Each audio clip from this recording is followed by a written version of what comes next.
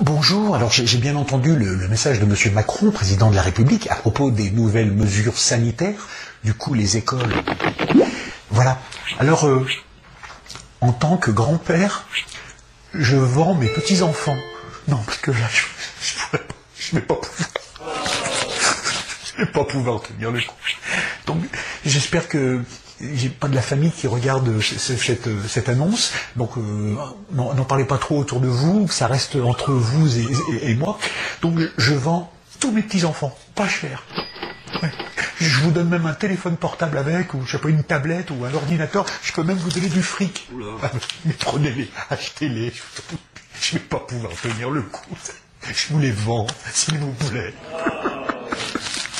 Vous verrez, vous ferez une affaire. Ils sont adorables.